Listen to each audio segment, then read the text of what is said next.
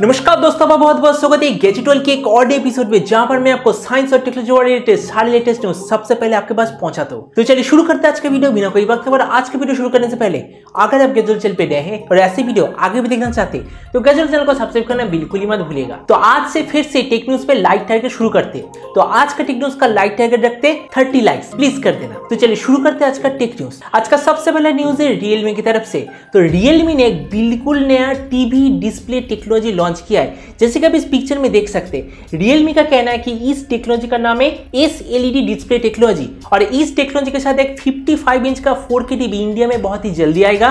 और रियलमी की तरफ़ से ये भी कहना है कि ये जो एस एलईडी टीवी टेक्नोलॉजी जो quantum dot TV technology launch हुआ था, उससे भी बेटर क्वालिटी का टेक्नोलॉजी तो देखते हैं कि आखिरकार ये जो नया रियलमी की तरफ़ से डिस्प्ले वाला टीवी कब इंडिया में लॉन्च होता है कितने ज़्यादा प्राइस में लॉन्च होता है। क्योंकि देखिए, क्योंकि इसका क्वालिटी क्वांटम डॉट से भी ज़्यादा है तो मुझे बिल्कुल भी नहीं लगता सत्तर या फिर अस्सी हज़ार के नीचे एटीबी इंडिया में लॉन्च हो सकता है। तो इसके बाद मैं आपके लिए एक स्पेशल न्यूज़ लेके आ चुका हूँ। जैसे कि अभी स्क्रीनशॉट पे देख सकते हैं। रियलमी ये सभी प्रोडक्ट बहुत ही जल्द इंडिया पे लाने वाला है। ये सारे प्रोडक्ट आप देख ही सकते हैं। Realme 7 Pro SE एक Realme Buds Wireless Pro मैंने अभी अभी जो आपको 55 इंच का टीवी बताया, ये वो वाला टीवी एक 100 वाट का sound bar Buds Air Pro, Realme Watch S और Realme Watch S Pro, एक स्मार्ट प्लग एक और टूथब्रश और 360 डिग्री स्मार्ट कैमरा ये फिर जिसे हम कह सकते हैं एक सिक्योरिटी कैमरा मतलब Realme ये सभी प्रोडक्ट मेरे ख्याल से अगले एक ही महीने के अंदर इंडिया में लॉन्च करने वाला है। तो इसके बाद का न्यूज़ आपके लिए तो बहुत ही बढ़िया न्यूज़ है। तो अगर आपने अभी तक Redmi Note 9 के कोई भी स्मार्टफ़ोन नहीं खरीदा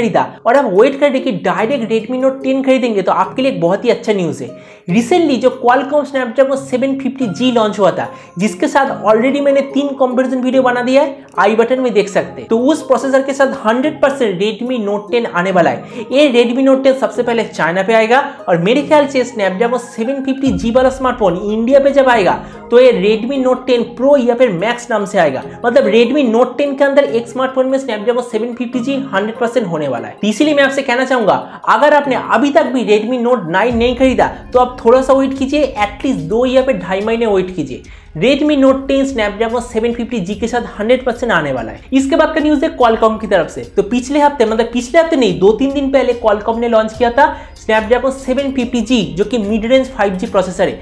आप कहा जाए कि अगले एक महीने के अंदर Qualcomm लॉन्च करने वाला है Snapdragon 775G और अगर आप इस चार्ट में देखेंगे तो इसमें मैंने इसके स्पेसिफिकेशन एकदम लिख दिया है। कहा जा रही कि ये वाला प्रोसेसर 6 नैनोमीटर आर्किटेक्चर पे आएगा।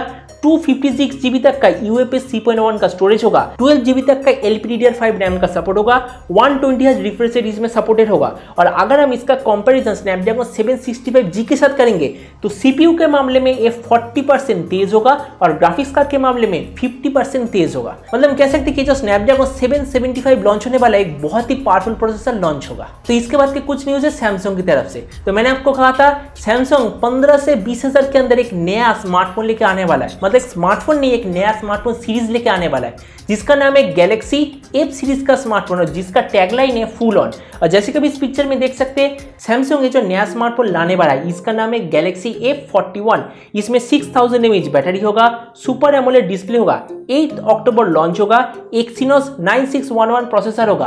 और कहा जा रहा है कि इसका कैमरा ट्रिपल कैमरा सेटअप होगा, और उसमें से एक कैमरा होगा 64 मेगापिक्सल सेंसर और फ्रंट में होगा 32 मेगापिक्सल सेल्फी कैमरा वैसे देखिए कैमरा वाइज मेरे ख्याल से ठीक ठाक स्मार्टफ़ोन है, लेकिन अगर इसका प्रोसेसर एक्सिनोस 9611 के बजाय कुछ दूसरा मतलब एटलीस्ट स्नैपड्रैगन 600 सीरीज़ या फिर स्नैपड्रैगन 700 सीरीज़ का कोई प्रोसेसर होगा तो मैं बहुत ही ज़्यादा खुश होऊँगा। तो इसके बाद सैमसंग अपने गैलेक्सी ए सीरीज़ के अंदर लाने वाला है दुनिया का सबसे पहला मतलब दुनिया का सबसे पहला नहीं सैमसंग का सबसे पहला पाँच कैमरा वाला कैमरा सेटअप जिसका नाम है गैलेक्सी ए सेवेंटी टू कहा जा रहा है कि इसका जो पाँच कैमरा सेटअप उसमें से एक होगा 64 मेगापिक्सल दूसरा होगा 12 मेगापिक्सल अल्ट्रा वाइड तीसरा होगा 8 मेगापिक्सल टेलीफोटो उसके बाद एक 5 मेगापिक्सल मैक्रो और उसके साथ एक 5 मेगापिक्सल डेप्थ सेंसर वैसे इसका प्राइस क्या होगा, इसके बारे में तो कोई इन्फॉर्मेशन अभी तक नहीं है, लेकिन ये बड़ा स्मार्टफ़ोन 100% लॉन्च ज़रूर होने वाला है। तो अमेजोन ने बहुत सारे प्रोडक्ट पिछले दिन रात को लॉन्च किया है। उसमें से जो पहला प्रोडक्ट वो है अमेजोन का फाइव टीबी स्टिक का थर्ड जनरेशन जिसमें कुछ नहीं, बस अंदर का जो इंटरनल मेमोरी उसे इंप्रूव किया गया है और जो ओवरऑल प्रोसेसर उसमें इंप्रूव किया गया है। और अभी ये जो third generation fire TV stick इसका प्राइस है चार हज़ार रुपए। और इसके साथ अमेजोन ने फाट टीवी स्टिक लाइट भी लॉन्च किया है, जिसका प्राइस है तीन हज़ार रुपए। और इसके साथ अमेजोन ने लॉन्च किया अपना क्लाउड गेमिंग सर्विस जिसका नाम है लूना और कहा जा रहा है कि ये सर्विस कॉम्पीट करेगा Microsoft project X Google Stadia और एनवीडिया जी फोर्स नाव के साथ। और इसके साथ अमेजोन ने इंडिया पे लॉन्च किया अपना तीन अमेजोन एको डिवाइस जैसे कि आप देख सकते हैं Amazon Echo Amazon Echo dot और Amazon Echo dot with clock ये जो डिवाइस है शुरू हो रहा है, चार हज़ार पाँच सौ रुपए से, और इसका जो मैक्सिमम प्राइस वो है, दस हज़ार रुपए तक। और बच्चों के लिए भी अमेजोन ने लॉन्च किया डिज़ाइनर वाला अमेजोन एको लेकिन कल एक बहुत ही स्पेशल प्रोडक्ट इंटरनेशनल मार्केट पे लॉन्च हुआ है। जैसे कि इस पिक्चर में देख सकते हैं। इसका नाम है रिंग ऑलवेज होम कैमरा ये डिवाइस दिखने में बिल्कुल ऐसा है लेकिन इसके अंदर ये जो ऊपर का कवर है ये दरअसल एक फ्लाइंग ड्रोन है, जो कि ऑटोमेटिकली काम करेगा। आपको कुछ कंट्रोल करने की ज़रूरत नहीं। ये जो ऊपर का ड्रोन जिसके अंदर एक कैमरा इनबिल्ट है, ये एआई सॉफ्टवेयर की मदद से ऑटोमेटिकली आपके घर के आसपास घूमेगा और घर के आसपास घूम के जो ओवरऑल फुटेज वो आपके स्मार्टफ़ोन में दिखाएगा। मतलब कह सकते कि एकदम futuristic autonomous AI drone security camera launch किया है। तो इसके बाद नोकिया अपने एक नया स्मार्टफ़ोन लाने वाला है, जिसका नाम होगा नोकिया 7.3 लेकिन इसका जो मेन फीचर वो होगा, इसमें एक बहुत ही बेहतरीन क्वाड कैमरा सेटअप होगा और इसका जो प्रोसेसर वो होगा स्नैपड्रैगन 690 जो कि मैंने आपको ऑलरेडी कहा था, बहुत ही पावरफुल प्रोसेसर है। और अगर इसके कैमरे के बारे में बात करती इसमें आपको मिलेगा 48 megapixel quad camera setup 24 megapixel selfie 4000 mAh battery और मुझे लग रहा है कि ये स्मार्टफ़ोन 20000 के आसपास इंडिया में ज़रूर आएगा। तो वीवो ने फिर से एक नया स्मार्टफ़ोन लॉन्च कर दिया जिसका नाम है वीवो वी ट्वेंटी लेकिन पहले कह दो, ये वाला स्मार्टफ़ोन जब इंडिया में आएगा तो इसका प्राइस होगा इक्कीस हज़ार रुपए। और इक्कीस हज़ार रुपए पे वीवो हमें दे रहा है स्नैपड्रैगन सिक्स सिक्सटी फाइव इसीलिए मैं कहना चाहूँगा, इसके बाद इसके स्पेसिफिकेशन आपको सुनने की कोई ज़रूरत नहीं। वीवो की तरफ़ से एक टोटली वेस्ट फ़ोन होने वाला है, अगर इंडिया पे लॉन्च हुआ तो। इसके बाद का न्यूज़ है वोडाफोन की तरफ़ से। तो अगर आप वोडाफोन आइडिया मतलब वी इसका अगर कनेक्शन यूज़ करते तो हो सकता है कि आपको एक जीबी करके टोटल सेवन जीबी डेटा अगले सात दिन के लिए दिया जाएगा। इसीलिए अगर आपका वी मतलब वोडाफोन आइडिया का अगर अकाउंट है तो उसमें चेक कीजिए। बहुत ज़्यादा चांस है कि आपको एक GB four G data per day free में दिया जा रहा है। तो जियो ने एक बहुत ही बढ़िया काम किया है। जब जब आप प्लेन में सफ़र करते हैं, उसके अंदर तो आपको कोई कनेक्शन नहीं मिलता टेलीफोन का। तो जियो ने एरो मोबाइल के साथ एक पार्टनरशिप किया है। पार्टनरशिप करके 22 इंटरनेशनल फ्लाइट्स में अपना मोबाइल सर्विस को लॉन्च कर दिया है। और ऐसा करने वाले इंडिया का पहला मोबाइल सर्विस प्रोवाइडर बन चुका है इंडिया का दूसरा टेलीकॉम कंपनी बन चुका है टाटा के बाद। मतलब कह सकते कि जियो ने एयरटेल से भी बहुत ही आगे निकल गया है अभी सर्विस प्रोवाइडर के मामले में। तो दोस्तों मार्केट में एक नया तरीके का फ्रॉड फिर से फैल रहा है। अगर आपने रिसेंटली बाहर के देश या फिर बाहर के स्टेट से कुछ पार्सल मंगवाया है तो बहुत ज़्यादा चांस है कि आपको एक फ्रॉड कॉल ज़रूर आया होगा। फ्रॉड कॉल मतलब मैं आपको समझाता हूँ। सोचो कि आपके पास एक फ़ोन आएगा। फ़ोन आने के बाद आपको कहा जाएगा कि मैं कस्टम्स ड्यूटी से बोल रहा हूँ। ये पार्सल यहाँ तक पहुँचा है। मतलब देखिए, जो आपको फ़ोन करेगा, उसके पास हंड्रेड परसेंट इंफॉर्मेशन रहेगा कि आपने बाहर के देश से या फिर बाहर के स्टेट से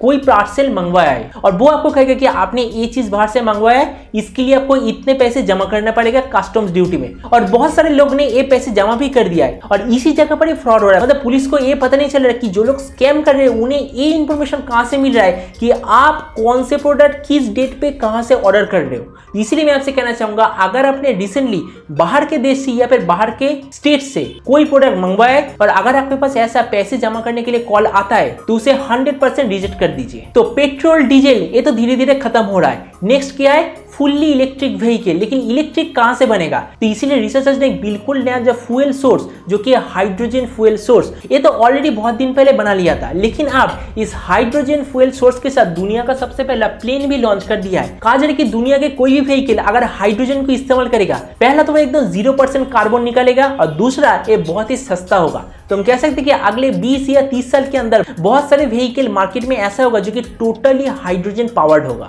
और आज का फाइनल न्यूज़ जैसे कि इस पिक्चर में देख सकते ग्लोबल वार्मिंग तो बहुत तेज़ी से बढ़ रहा है और इसके वजह से जो नॉर्थ और साउथ पोल पे बर्फ़ जमा हुआ है, उस पर ही सबसे ज़्यादा इफ़ेक्ट पड़ रहा है। जैसे कि इस पिक्चर में देख सकते हैं। देखिए रिसेंट टाइम में मतलब लास्ट दो तीन साल के अंदर कितने सारे बर्फ़ यहाँ पर गल चुका है। तो इसीलिए धीरे धीरे जो समुद्र का लेवल वो और भी बढ़ रहा है और अगले दस या बीस साल तक अगर सेम तरीके से ग्लोबल वार्मिंग चलता गया तो दुनिया के बहुत सारे, इसी रीजन की वजह से डूब जाएगा। तो आज के वीडियो से तक उम्मीद आज के वीडियो को पसंद आया होगा। इस वीडियो के बारे में आपका जो भी विचार है, नीचे कॉमेंट सेक्शन में लिखना बिल्कुल मत भूलिएगा।